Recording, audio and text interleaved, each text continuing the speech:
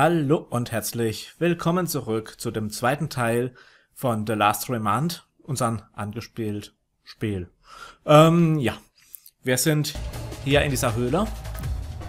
In der letzten Folge haben wir erfahren, dass ähm, er Rush seine Schwester sucht, dass die entführt worden ist und er sucht sie jetzt hat und ist auf diesen Kontinent gekommen und hat ein großes Schlachtfeld erlebt gehabt.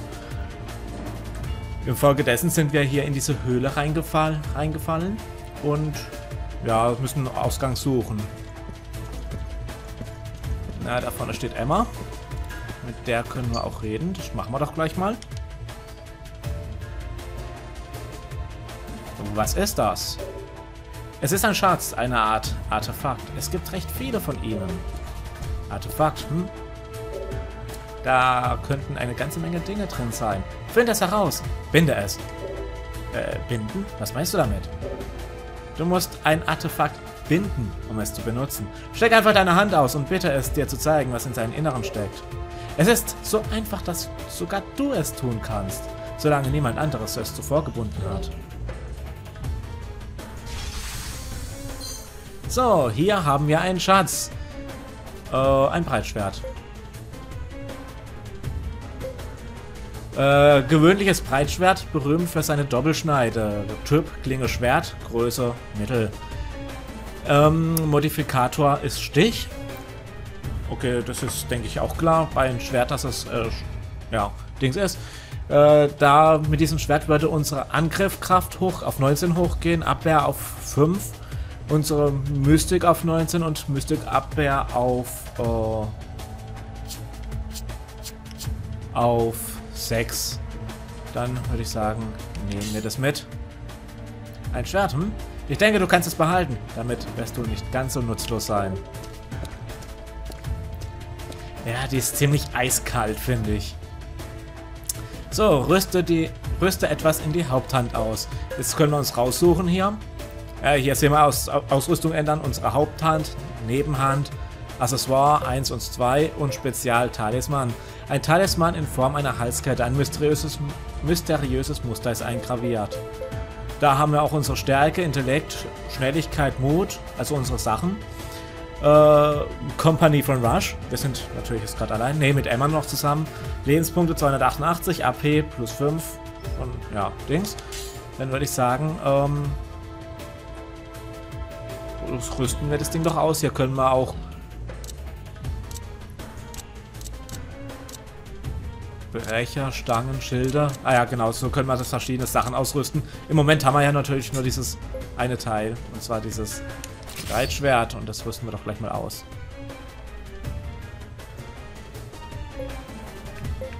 Okay. Hier können wir das Gruppenmenü öffnen und dann können wir die Dings, Speicher, können wir auch, okay. Gehen wir einfach mal rein. Hier können wir Rush-Ausrüstung machen. Da sind wir jetzt da, wo wir eben waren. Und wir können unsere Gruppenmitglieder anschauen. Im Moment ist nur Ding hier. Kampfverbände 1, maximal 1, Kampfverbände 2, okay. Das sind viele, viele Daten. Hier sehen wir ihre Attribute, Stärke und so weiter. Sie ist zweihändig ausgerüstet. Angriff, ja, sieht man ja. Können wir unsere Ausrüstung anzeigen. Emmas Langschwert. Ein Langschwert, das von Emma benutzt wird. Nicht so stark wie ein gewöhnliches Schwert, aber dafür extrem leicht. Oder den Degen. Ein Degen, der von Emma benutzt wird. Nicht so stark wie ein gewöhnliches Schwert, aber dafür extrem leicht. Und noch ein Amulett, das die AP erhöht. Ja, so sieht das Inventar eigentlich aus. Dann haben wir noch Kampfstähle. Aktueller Kampfstil ist Einhänder. Kampfstähle können wir jetzt aussuchen äh, ein Kampfstil, bei dem ein einzelnes Schwert mit der Hand geführt wird oder Kraftstehgriff gibt's. Ah, das sind die, wo wir haben können. Ähm, ah ne, aktueller... Ah, okay, okay, okay. Ein Kampfstil, bei dem ein einzelnes Schwert in der Hand geführt wird, Zweihand, ein mit den beiden Dings geführt wird oder diesen Kraftangriff. Aktueller Kampfstil lassen wir mal auf Zweihand. Künste anzeigen. Das sind das, was sie alles kann. Äh, Moment. Ganz klar komme ich noch nicht mit der Steuerung, aber das kommt noch mit der Zeit. Ja, Einhänder haben wir den Beinspalter, Zweihand haben wir Teufelsbann. Heilzauber gibt's, also ihre mystischen Künste sind, äh, kann sie einen stärken. Okay. Was kann er eigentlich machen? Er hat Itemkünste, Stärkungskraut. Okay. Dann können wir natürlich noch das Inventar anschauen. Ausrüstung haben wir nichts. Ja, da haben wir alles überhaupt nichts. Wir haben nur spezielle Items. Eine Kräuterformel, ein Rezept, das die Formel für die Itemskunst Kräuter enthält. Nahkampfhaltung, eine Schriftrolle zum Erlernen der Formation Nahkampfhaltung und Pfeil von Atlum, eine Schriftrolle zum Erlernen der Formation von Atlum. Okay. Dann hätte ich gesagt, gehen wir mal weiter. Ist Pause. Ja, genau, so kommt man hier rein. Und dann kann man auch noch speichern und das Spiel verlassen. Okay. Jetzt können wir wieder mit ihr reden. Na, da ist ein Gegner, wie es aussieht. Vorsicht! Ist, ist das, was du zuvor bekämpft hast? Ja, Monster. Sieht aus, als käme er an ihnen nicht vorbei. Greife sie an, bevor sie uns entdecken. Jetzt können wir diese Taste drücken, um ein Monster innerhalb einer bestimmten Reichweite an, zum Angreifen, also das war ein Monster innerhalb einer bestimmten Weise angreifen werden, äh, angreifen können. Monster mit diesem Punkt-Punkt-Punkt-Symbol über ihren Köpfen sind nah genug, um angegriffen werden zu können. Wenn dich Monster im Feld angreifen, bevor du sie angreifen konntest, befindest du dich eindeutig im Nachteil in der folgenden Schlacht. Sei gewarnt. Sprich, wir, wenn wir sie angreifen, bevor sie uns entdecken, bekommen wir einen Bonus drauf. Ansonsten ein Malus. Let's do this. Verdammt, sie haben uns bemerkt. Ich dachte, ich hätte dir gesagt, du sollst angreifen. Äh, waren wir noch zu weit entfernt? Es war doch so ein Punkt, Punkt, Punkt. Oder hätte so ein rotes Ding sein müssen. Naja, egal. Let's do this. Ah, Verdammt, sie sind so nah. Ah, okay. Jetzt können wir so angreifen, okay. Ich verstehe, wir müssen, wir waren so weit entfernt noch. So, und jetzt wird nochmal genauer erklärt, wie das mit der Schlacht abgeht. Jede Instanz, die an der Schlacht teilnimmt, wird als Einheit bezeichnet. Diese Einheiten sind in Gruppen organisiert, die Verbände heißen. In der Schlacht wirst du alliierte Verbände in groß angelegten Angriffen anführen. Die einzelnen Anweisungen, die du geben kannst, nennt sich Kampfbefehle. Oben rechts am Bildschirm befindet sich eine Schlachtnavigationskarte, die alle in der Schlacht befindlichen Verbände anzeigt. Verfügbare Kampfbefehle hängen von Faktoren wie der Position und Zusammensetzung von eigenen und gegnerischen Truppen ab. Behalte diese Faktoren im Auge und gibst die entsprechenden Kampfbefehle. So, Kampfbefehle.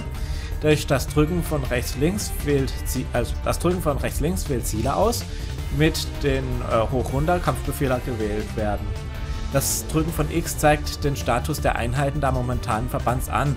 Du kannst die Aktionen und alle Statusveränderungen überprüfen. So, da haben wir unseren Kampfverband. Wenn ich jetzt X drücke, sehen wir, was, äh, was die zwei machen würden. Hier würde Angriff einfach nur einen Angriff machen, also beide einen Angriff. Hier würden wir Angriff und Beinspalter machen. Also Emma würde einen Beinspalter machen. Und improvisiert ist, gibt allen Einheiten Handlungsfreiheit. Das heißt, sie machen, was sie wollen. Wir haben diese zwei Ziele. Und ich würde sagen, wir gehen mal gegen die zwei, aber mit Kampfkünsten gehen wir dann vor.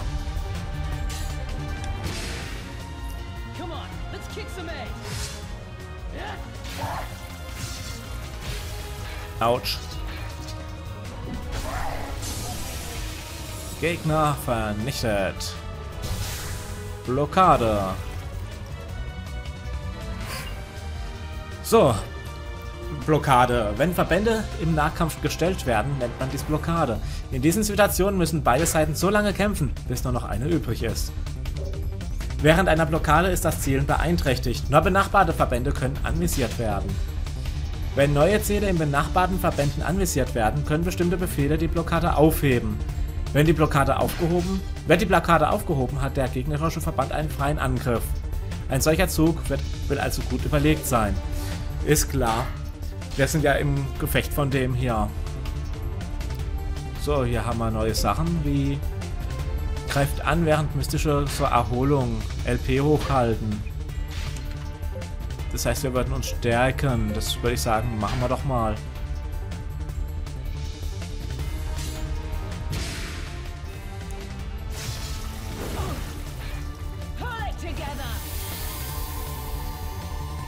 Sehr schön. Und in diesem Fall machen wir doch jetzt einfach mal einen ganz normalen Angriff. Viele sind ja nicht mehr übrig.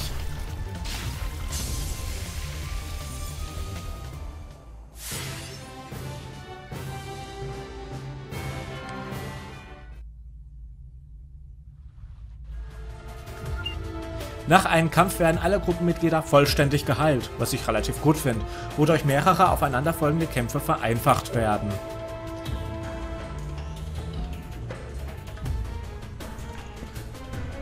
So. Ähm, genau, was ich noch sagen wollte. Es gibt keine Zufallskämpfe. Also das war ja gerade bei Final Fantasy ja häufig äh, ein Fall von Square Enix Spielen, dass man Zufallskämpfe hat. Und in diesem Fall sind alle Gegner auf der Karte so wie hier angezeigt.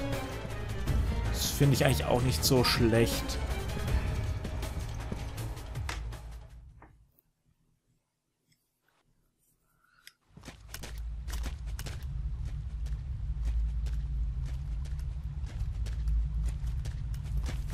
Something's wrong.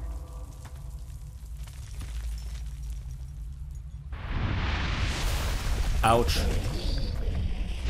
Das ist jetzt ein etwas größerer Gegner, wie es aussieht. I wasn't expecting this. Prepare yourself.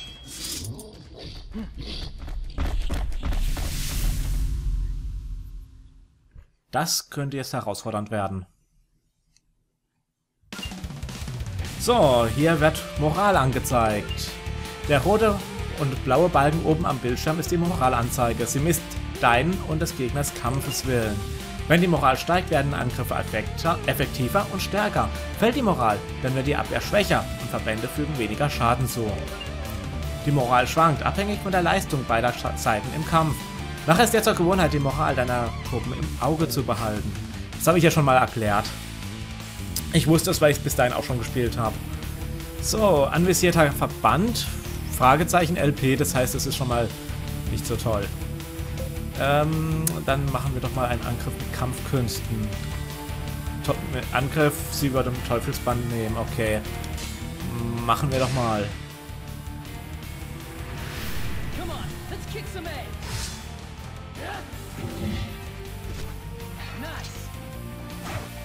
Aber er weicht aus.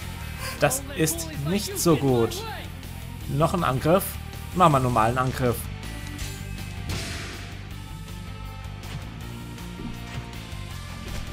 Aber wir treffen dieses Scheißvieh nicht.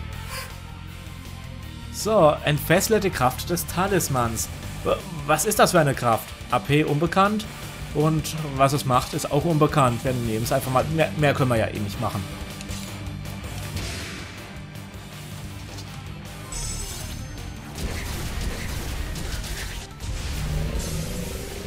Würde sagen, Gesamtschaden 2275. Das ist doch mal nicht schlecht, oder?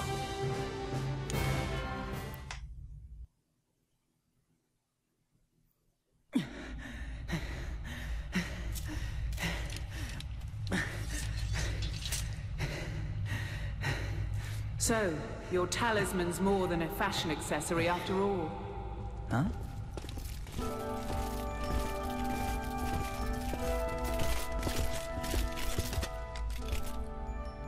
My lord! You did not have to come all this way for me. Please, accept my apologies. Seeing you safe is apology enough. And who is this? He claims to be the son of Dr. Sykes. Oh, I see.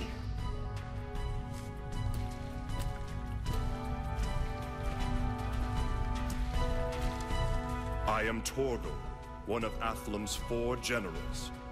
Our lord, the Marquis of Athlum, would like to extend his thanks. Step forward.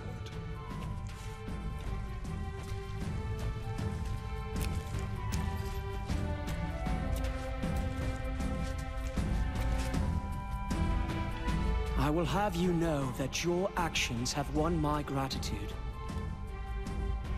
As for your sister, if the men you seek have entered Athlumian territory, we cannot turn a blind eye. I shall accompany you to Athlum. Huh? Our Lord would like to aid you in your search for your sister.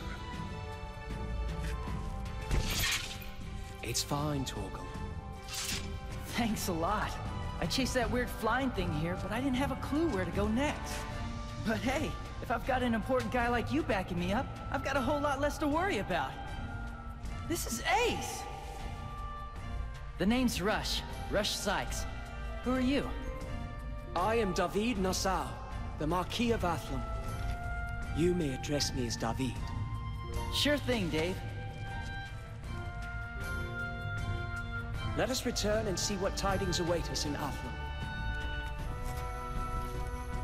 All troops, return to Athlum immediately. Yes, my lord. Come on, Dave. Let's go. You will! Have you no manners? That is no way to address the Marquis of Athlum. Jeez, what's your problem? He's surprisingly simple, wouldn't you say? We have yet to see. Ja, auf jeden Fall ist er ziemlich unverschämt. Ob beabsichtigt oder nicht, das weiß man noch nicht. So, eine stolze Stadt, eine stolze von David regierte Stadt, die am Rande von Zelapilis liegt. Sie ist dafür bekannt, die erste Verteidigungslinie von Zelapilis zu sein. Jetzt betreter, betretbar Atlum. Gut, und hier würde ich sagen, machen wir auch einen kurzen Break und äh, hören mit der zweiten Folge auf. Eine dritte wird es noch geben und das ist dann auch die letzte Folge. Dann sage ich mal, bis äh, zur dritten Folge dann. Macht's gut und ja, wir sehen uns. Tschüss.